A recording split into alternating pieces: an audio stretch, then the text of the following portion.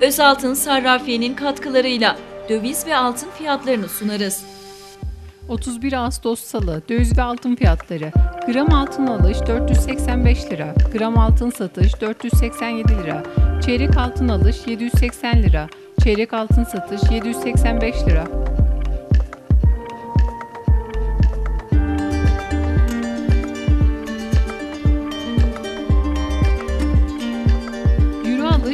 9.81, Euro satış 9.83, Dolar alış 8.32, Dolar satış 8.34.